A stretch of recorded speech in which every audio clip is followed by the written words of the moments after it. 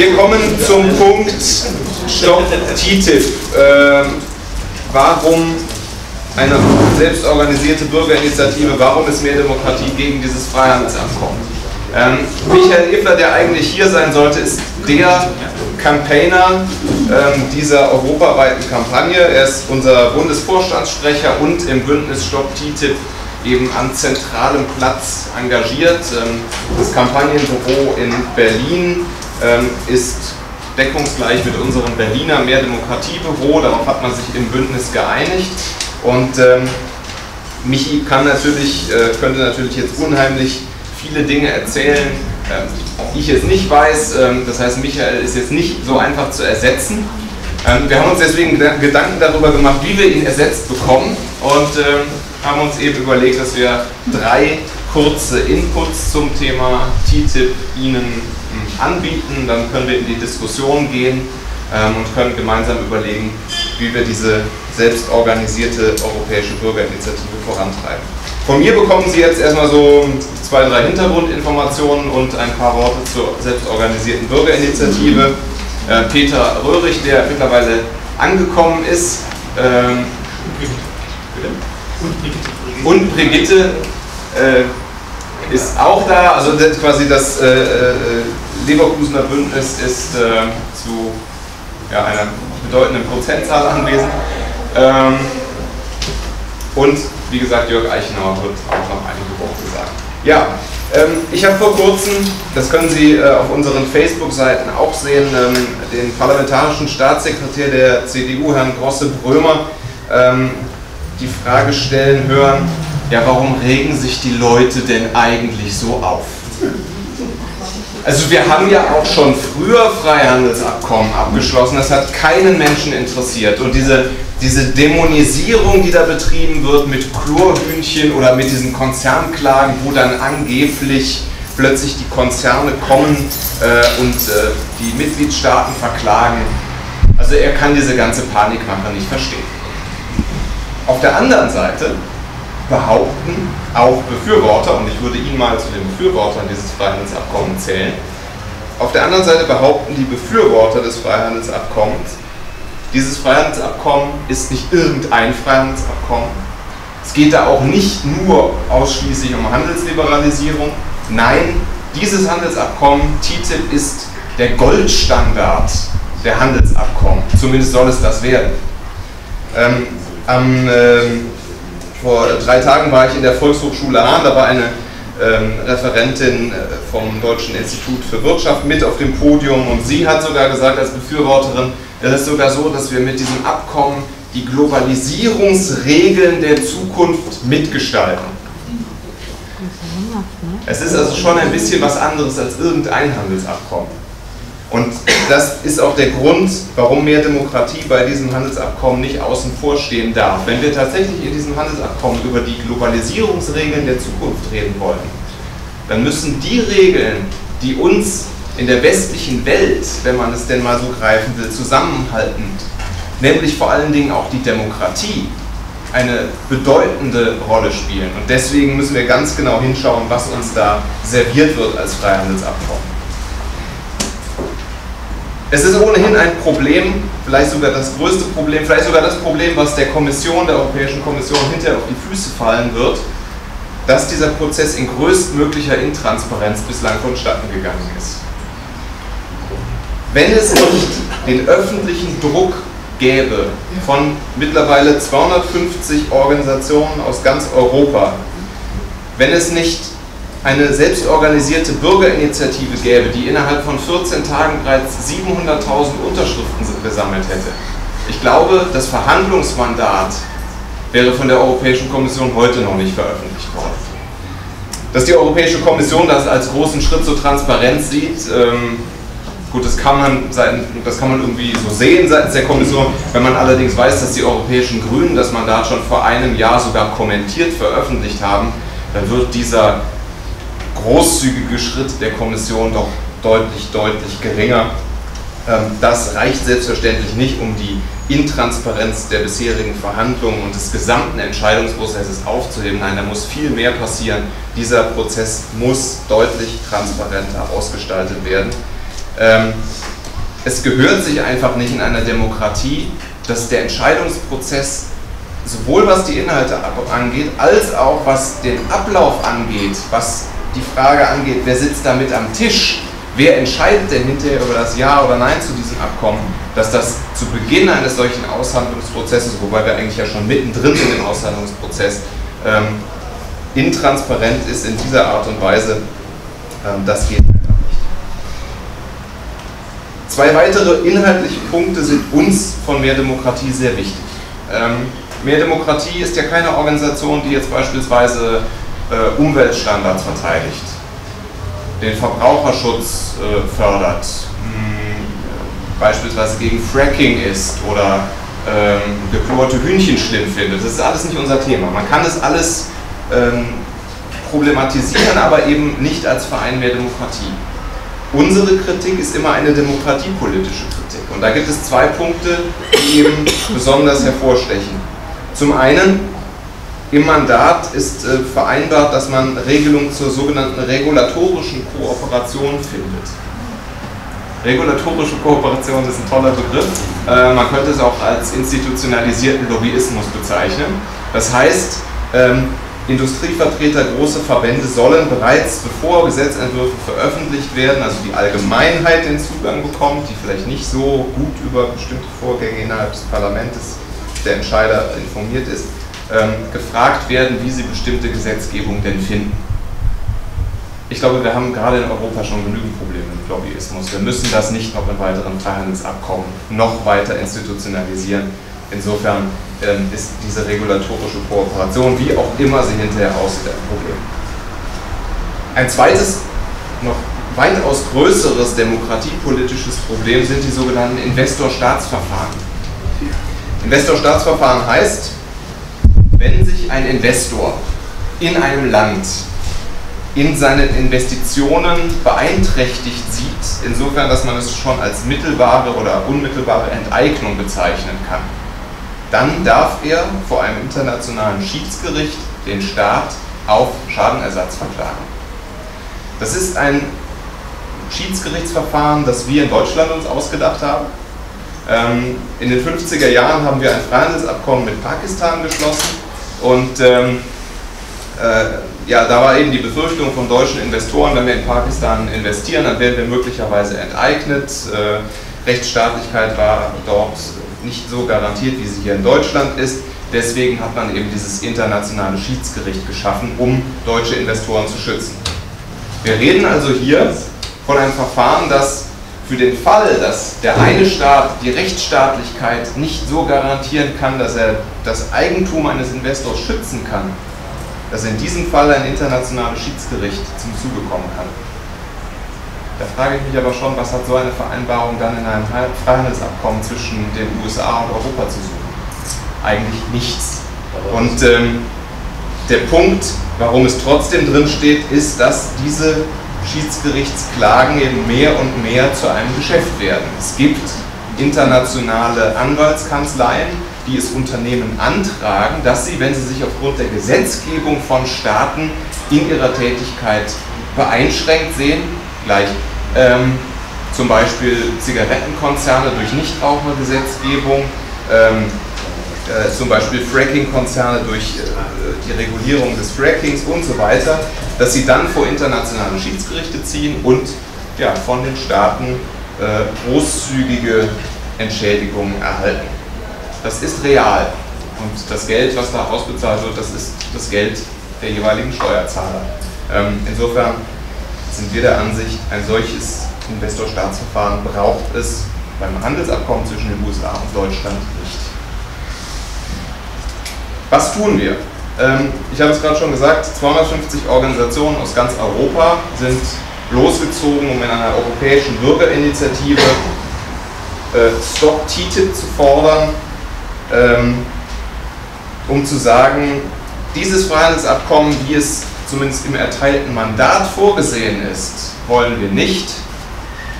Man kann ein Freihandelsabkommen mit den USA schließen, aber nicht so, ähm, wie es hier angedacht ist.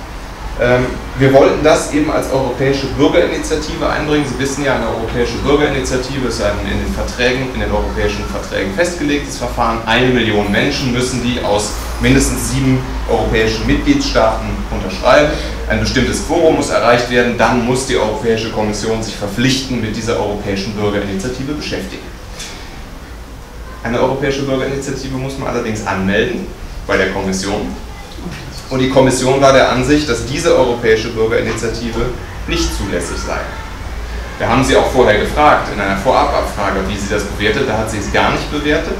Und nachdem es dann eingereicht worden ist, hat die Europäische Kommission sich volle zwei Monate Zeit gelassen. Die sie, das ist die volle Frist, um uns dann zu sagen, nein, das ist unzulässig. Ihr dürft nicht den Abschluss eines internationalen Vertrages verhindern. Das dürft ihr nicht fordern. Ihr dürft in einer europäischen Bürgerinitiative lediglich fordern, dass ein, europäischer, dass ein internationaler Vertrag abgeschlossen wird. Dieser Ansicht sind wir nicht. Ähm, wir werden das auch äh, vor den Europäischen Gerichtshof klagen, aber das dauert natürlich sehr, sehr lange. Und ähm, damit bis dahin der Protest gegen TTIP nicht verhallt, hat sich das Bündnis innerhalb wirklich weniger Tage entschlossen, wir machen eine selbstorganisierte europäische Bürgerinitiative. Ich meine, ob die Kommission sich jetzt in einer Anhörung damit beschäftigt oder nicht, so scharf ist dieses Schwert nun auch nicht. Es gibt bereits aus dem Europäischen Parlament äh, den einen oder anderen Parlamentarier, der gesagt hat, ich kann mir gut vorstellen, dass ich das aufgreife, dass wir das dann einfach ins Europäische Parlament einbringen. Ähm, das hat vermutlich denselben Effekt wie eine europäische Bürgerinitiative. Es geht ja vor allen Dingen darum, dass wir es hinbekommen, europaweit zu zeigen, die Menschen in Europa wollen dieses Freihandelsabkommen nicht. Und dass wir uns gemeinsam mit Organisationen aus verschiedenen europäischen Mitgliedstaaten an einem Thema abarbeiten, was hier in Deutschland wirklich Säle füllt, was wirklich auf der Straße die Menschen bewegt, wo viele Menschen Bescheid wissen, aber eben auch in vielen anderen Städten, äh, Städten, Staaten ähm, die Menschen schon Bescheid wissen und es aufregt. Ähm, das ist eigentlich eine großartige Sache. Das ist ein Stück weit europäische Öffentlichkeit, äh, wie wir sie uns wünschen, äh, wie sie Europa auch braucht und wie sie vielleicht ein Anfangspunkt sein kann für eine grundsätzliche Diskussion darüber, wie wollen wir die Demokratie in Europa eigentlich haben. Deswegen macht mehr Demokratie da mit und damit endet zumindest jetzt erstmal mein Teil des Inputs. Gut, ja, ich freue mich, dass äh, Peter Röhrig da ist. Ähm, ich war neulich in äh, Leverkusen, äh, bin an meinem Lieblingsbuchladen vorbeigefahren und habe irgendwie mit Schrecken gesehen, dass dann steht, das ganze Fenster war zugeklebt und dann stand drauf, wir müssen schließen. Es ist so, äh, nee, ey, scheiße einmal zu viel bei Amazon bestellt, es tut mir leid, ich wollte dann gerade schon Abbitte leisten, dann habe ich gesehen, da steht unten drunter, wir müssen schließen, wenn TTIP kommt. Und äh, das hängt ein Stück weit mit der Arbeit von äh, Peter in Leverkusen zusammen und ich freue mich mal zu hören, was wir in Leverkusen jetzt schon so losgemacht haben. Ja, was haben wir in Leverkusen gemacht? Jetzt äh, komme ich zu Leverkusen. Wir haben äh, uns zu dritt irgendwann getroffen äh, und angefangen, wir müssten was machen. Und dann haben wir äh, zu dritt angefangen, alle Organisationen abzuklappern, die irgendwas damit zu tun hatten. AWO, Deutscher Paritätischer Wohlfahrtsverband, Naturbund, äh, Bund, Gewerkschaften. Äh, Bayer äh, ist da in Leverkusen Chemie, also schwierige Sache. Äh, Parteien, alle Parteien haben wir, abgesehen von Thron NRW und äh, wer war der zweite, der da ist noch so eine ja, AfD, die haben wir mal weggelassen, äh, selbstverständlich. Aber wir sind, wir haben allen Parteien angeboten, wir sind da und wollen uns bei uns vorstellen. Wer, wer ist das? Da, da, kommen drei Männchen und wollen sich bei den Parteien vorstellen mit einer Initiative. Und die wussten natürlich nicht, dass wir, auch das ist äh, ein kleines Defizit, eigentlich drei Aktive sind. Wenn es hochkommt, sind es fünf. Äh, äh, und in äh, Wiesdorf am Aktionstag, wo wir alle möglichen Leute angeschrieben hatten, kommt doch mal vorbei oder helft uns mal, waren am Schluss fünf. Jetzt will ich äh, Sie nicht da demotivieren. Das war meine Frau, das war ich von meiner Schwägerin, das war die Tochter meiner Schwägerin und wer war der fünfte? Familienunternehmen auf Deutsch gesagt. Okay, wir haben in Leverkusen mit äh, Hilfe dieser Buchhandlungsgeschichte ungefähr 700 äh, Unterschriften bekommen. Dafür waren wir schon ganz stolz. Äh, und äh, es gab auch eine Menge Rücklauf über die Seite. Äh, aber äh, wir haben eigentlich, das war unsere Strategie in Leverkusen, dass wir gesagt haben, sowas, was der Kollege hier Trennhäuser da macht, da oben diskutieren das, da kommt keiner mit klar. EU, USA, was hat das mit mir zu tun? Bundesregierung, sie soll da machen, was sie will. Steuerzahler äh, müssen das nachher zahlen, ja, so what. Äh, wir haben dann uns sozusagen auf die lokale Ebene begeben und haben gesagt, wir machen nur, wir versuchen nur zielgruppenorientierte Arbeit zu machen.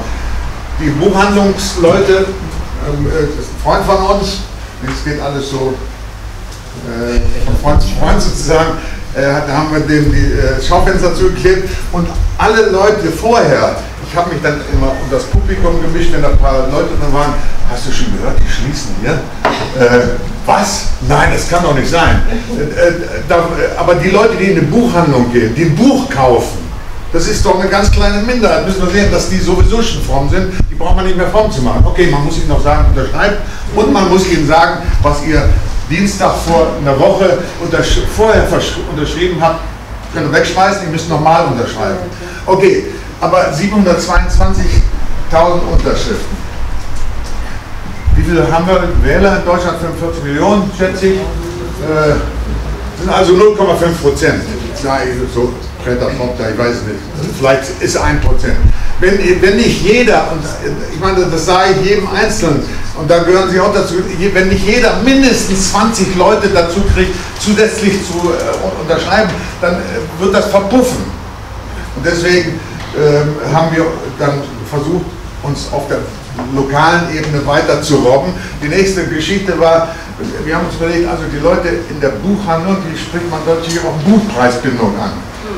Wer weiß, was Buchpreisbindung ist. Ein normaler Mensch weiß nicht, was Buchpreisbindung ist. Und wenn die fällt und die könnte fallen durch diese Freihandelsabkommen, dann gehen die Buchhandlungen kaputt. Das sagt auch unser äh, Buchhändler, dein Buchhändler. Äh, ich mache am nächsten Tag, muss ich zumachen. Ich schaffe das nicht mehr. Naja, also, äh, aber dann haben wir angefangen, zweite Aktion, ich war zufällig bei einem Krankenhaus offenen Tag dabei und da haben wir dann ein kleines äh, Flugblatt gemacht, das habe ich noch zusammengeschustert, äh, zwei Stunden vorher. Ist das Klinikum Leverkusen für höhere Gewinne geeignet? Dann bin ich da an dem Sonntag hingegangen und äh, es ist unfassbar. Den hätte ich natürlich keinen Buchhandlungsflyer von Attac in die Hand drücken können. Aber den habe ich gesagt, wissen Sie eigentlich, was TTIP ist? Nee. Freihandelsabkommen? Nee. Was, was wollen Sie mir erzählen? Äh, und dann ist man so langsam ins Gespräch gekommen. Die sitzen draußen, war schönes Wetter. Und dann hat man gesagt, also Sie werden doch hier gut behandelt. Wenn das privatisiert wird, ich weiß nicht, ob der Kollege Möller äh, meiner Meinung ist, aber der ist, arbeitet ja im privaten äh, Krankenhaus, ist doch richtig. Aber das gilt im Prinzip für das gesamte Gesundheitswesen. Äh, aber die Leute verstehen doch nicht, was hat denn Freihandel mit dem Krankenhaus zu tun? Das denen äh, klar zu machen mit zwei Sätzen. Ich möchte mal äh, am liebsten würde ich, würde ich das, äh, den Versuch machen, jeder schreibt mal zwei Sätze auf, um einem normalen Menschen, der nichts von Freihandel als Abkommen weiß, zu erklären, wie geht das. Hm. Also, dann habe hab, hab ich lange daran äh, für Aber ich verstehe es Kopf. Wie bitte? Ich verstehe selber nicht Krankenhaus. Ja. Was hat TTIP mit dem Krankenhaus? Genau das ist die Frage. Und wenn wir die nicht beantworten, Ja, wenn wir, ja, Moment. Überraschungseffekt. Was hat TTIP Also, äh, ich versuche das, ich versuch das mal in zwei Sätzen zu, äh, zu formulieren. Äh, zwei, nein, nicht zwei, aber in einer Minute. Äh, also Freihandel bedeutet doch mehr Handel. Mehr Handel kriegt man nicht durch Höhersetzung der Standards, Genfleisch oder Maismehl und so weiter. Also werden die Standards runterdividiert. Um den Nicht zwingend. Das ist nicht per Definition so. Das ist eigentlich unabhängig dazu grundsätzlich. Nein, äh, also gut, äh, darüber können wir jetzt, das ist eine lange Diskussion. Aus meiner Sicht, wenn man die Standards anpasst auf dem oberen Level, wird es weniger Handel geben. Ganz eindeutig. Weil die Leute ganz, äh, warum sollte denn ein Amerikaner, der zu Hause das Zeugs gut verkauft, gut vermarkten kann, auf den teureren Markt gehen? Das ist doch unlogisch. Das heißt, von der Logik des Freihandels her heißt das, äh, die, die, die äh, Standards werden abgesendet oder zumindest angepasst. Und das sagen auch alle. Das sagen alle, es wird angepasst. Natürlich, du gibst mir das, ich gebe dir das. Anders geht es nicht, rein technisch nicht. Kann auch nach oben anpassen. Ja, das kann man. Das, das kann man, natürlich kann man das. Aber das wäre wieder die Logik des Handels, der ausgeweitet werden. Ja, jetzt äh, äh, will ich Sie nicht mit weiteren Abkürzungen äh, bepflastern. TISA, äh, da gibt es ein, ein, weiteres Freihandelsabkommen, was international diskutiert wird und verhandelt wird, wo es um äh, öffentliche Dienstleistungen geht. Stichwort Krankenhaus nochmal zurück. Also, wenn das Krankenhaus, das Klinikum in Leverkusen, äh, wenn da private Konkurrenz reinkommt oder das Krankenhaus übernimmt, ja, rein technisch ist das möglich. Gibt ja private Krankenhaus. Was passiert dann? Ja, jetzt kann der Kollege sagen, äh, äh, dann gehen die Löhne hoch. Eigentlich ein bisschen unlogisch. Was, was passiert? Natürlich werden die Löhne höchstens da bleiben, wo sind. Wahrscheinlich werden sie runter dividiert, weil der, die, die, Investoren wollen doch, was wollen sie machen? Gewinnen. Ist doch, ich habe hier nichts dagegen. Die sollen Gewinn machen. Aber nicht auf meine Kosten und nicht auf Kosten der Patienten. Was passiert? Personal, Pflegepersonal wird ausgedünnt. Bei der nächsten Lohnerhöhung gibt es halt keine Lohnerhöhung. Und, und, und, kann ich Ihnen durchdividieren. Die Ärzte im Klinikum, ich bin dann am Sonntag in die Station gegangen, haben dieses Faltblatt verteilt.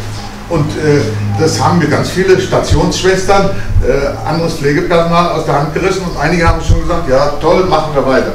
Ich habe dann äh, so ein kleines äh, Blättchen daraus gemacht, äh, von zwei Seiten, nicht so toll wie eure äh, Broschüren und so weiter, aber bewusst, bewusst billig gemacht. Und auf einige habe ich dann draufgeschrieben, viele Grüße P. -Punkt, und habe es unter die äh, Scheiben am Auto geklebt. Dann habe ich mal, äh, wenn ich irgendwo hingestellt geguckt, äh, die gucken natürlich zuerst drauf, äh, oh, was ist das denn? Klinikum Leverkusen, höhere Gewinne. Dann sehen sie viele Grüße P, das gucke ich mir mal an. Wer ist denn der P überhaupt? Äh, und da steht da auch noch, äh, naja, und, und dann, ich habe Ihre Frage noch nicht aus dem aus dem Auge verloren. Eigentlich habe ich sie weitgehend schon beantwortet, aber ich will das noch ganz kurz äh, sagen. Wir haben ich, dieses Faltblatt, dieses hier, was noch nicht so ist, wie wir es äh, wollten. Wir wollten noch mehr auf die lokale Ebene runterdividieren. Ja, wenn ich beim Arzt bin, lasse ich es aus Versehen. Was? Uhr? Äh, äh, aus Versehen habe ich es dann mal am Bankschalter liegen lassen, beim Arzt in der, in der Praxis im Einkaufswagen bei Erika, im Bus, im Taxi, überall. So, äh, also jede, jedes, jede gute Rede soll ja eine Einleitung haben, ein Hauptteil und ein Ende. Ich komme jetzt zum Hauptteil.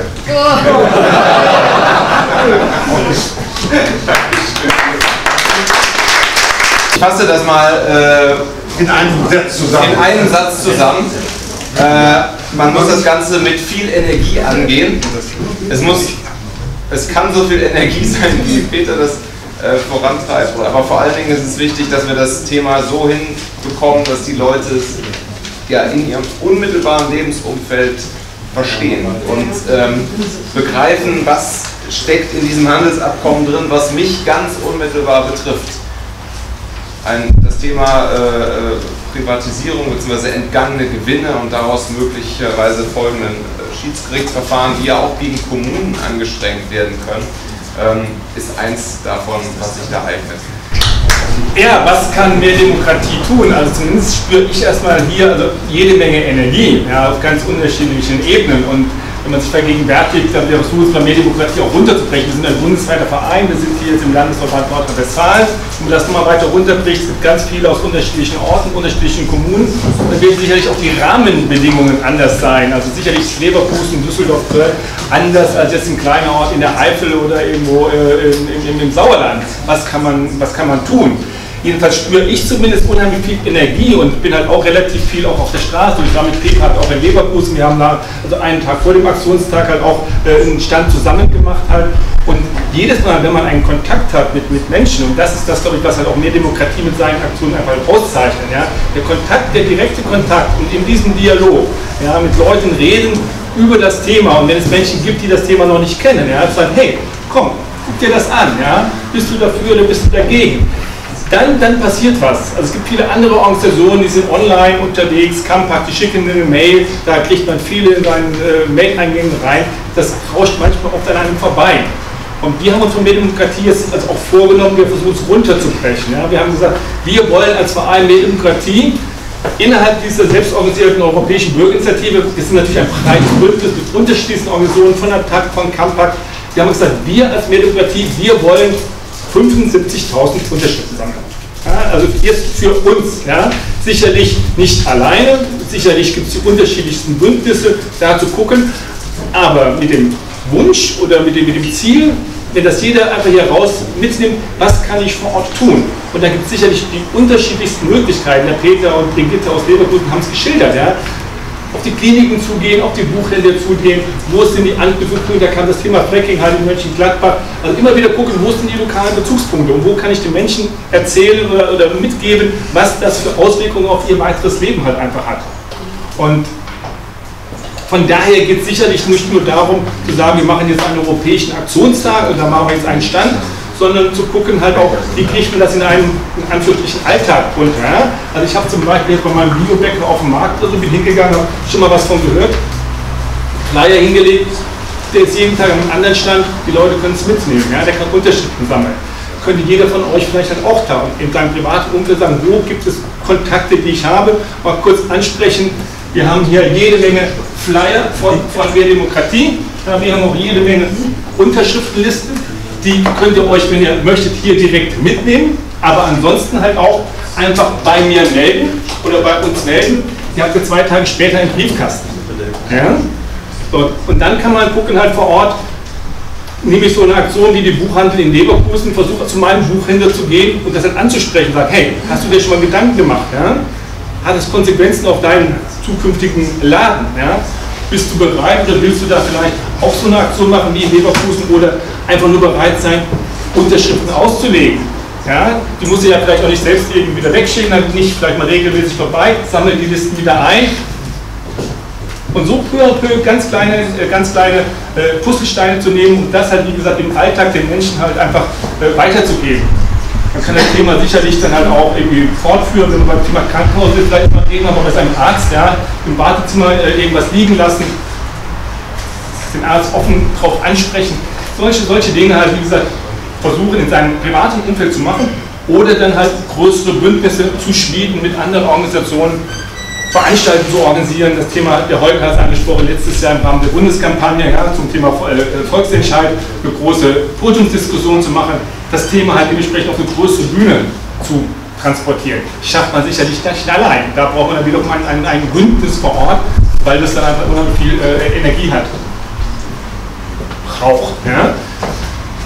Das sind so kleine Dinge, oder wenn es irgendwie größere Veranstaltungen gibt. In Köln haben wir zum Beispiel, gab es den Tag des guten Lebens. Ja? Das heißt, große äh, äh, Feste, da geht man hin, macht einen Stand, erreicht die Leute, kommt mit denen in Kontakt. Und jedes Gespräch, jedes Gespräch, was ich einfach führe, ja, wo ich jemanden erreiche und sage, hey, das Thema Tief gehört, kommt, wie folgen. Bist du dafür oder bist du dagegen? Und wir müssen sehen, dass mit jeder Unterschied, egal wie mühselig das ist, und wenn ich höre, 700.000 sind noch nicht genug, glaube ich auch, es sind nicht genug.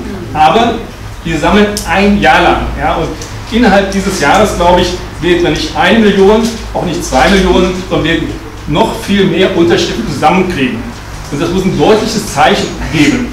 Und von unserem Verein der Demokratie glaube ich halt einfach auch, dass wir versuchen müssen, dieses aktuelle Thema ja, auf unsere Herzensanliegen halt auch zu transportieren und sagen, dieses Beispiel ist wieder, zeigt wieder hervorragend, was wir eigentlich brauchen. Wir brauchen ein demokratisches Europa und wir brauchen auch die Möglichkeit von direkter Demokratie. Wir können nicht bei jedem Thema, was uns aufregt, so eine Welle machen wie jetzt bei TTIP.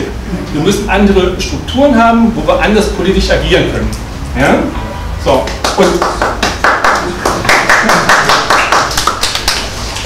und der, jetzt mache ich wieder die Rolle rückwärts und der Verein Mehr Demokratie hat jetzt gesagt, wir wollen das Ziel 75.000 Unterschriften erreichen. Ja, zu sagen, wir sind ein Teil dieses Bündnisses. Wir, Alexander hat es gesagt, Alex, in diesem Bündnis haben wir federführend, also auch äh, den Hut mit auf Und dementsprechend wollen wir unseren Beitrag dazu leisten. Und der Verein sagt es noch nicht ganz offiziell, aber ich greife mal vorneweg. Ich werde in den nächsten Monaten diese Kampagne bei Mehr Demokratie begleiten. Ich bin Ansprechpartner für alle Menschen, die bei Mehr Demokratie aktiv werden wollen. Ja, können mich kontaktieren, zu gucken, wie kann ich die Menschen unterstützen. Entweder durch Infomaterialien oder wenn sie sagen, hey, da ist eine Veranstaltung, wir machen eine Podiumsdiskussion und es gibt andere Organisationen, die machen eine große Veranstaltung, da lohnt es sich einfach hinzugehen. Menschen miteinander vernetzen. Einige von euch waren sicherlich halt auch in der letzten Bundeskampagne aktiv, das hat wunderbar geklappt. Wir haben ganz viele Organisationen gehabt, die im Rahmen der Kampagne für bundesweite Volksentscheide vor Ort aktiv waren, die sich engagiert haben in kleinen Bündnissen, mal zu zweit, zu dritt, mal in größeren Bündnissen. Und das wollen wir versuchen halt jetzt halt auch bei dem Thema TTIP zu erreichen, ja, mit der bundesweiten Unterstützung. Der Widerstand geht von Köln aus. Yeah!